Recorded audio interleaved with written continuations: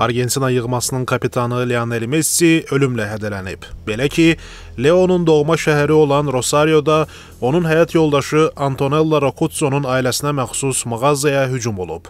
Naməlum şəxslər supermarketə 14 dəfə atəş açdıqdan sonra divara Messi, səni gözləyirik. Rosario'nun meri Pablo Yavkin narkotik alverçisidir. O səni xilas etməyəcək sözlərini yazıblar.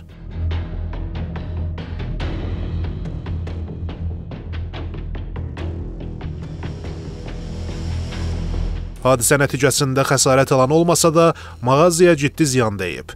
Argentina polisi küçədə 12 gils, ümumilikdə isə 14 güllə izi tapıblar.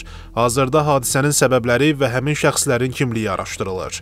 Yerli hakimiyyət hesab edir ki, cinayətkarlar Messidən pul almaq məqsədi ilə bu yola əl atıblar. Qeyd edək ki, bir müddət əvvəl Rosario Central klubunun baş məşqçisi Miguel Angel Russo bəzi futbolçuların şəhərdəki kriminogen vəziyyətlə əlaqədar meydana çıxmaq istəmədiklərini bildirib.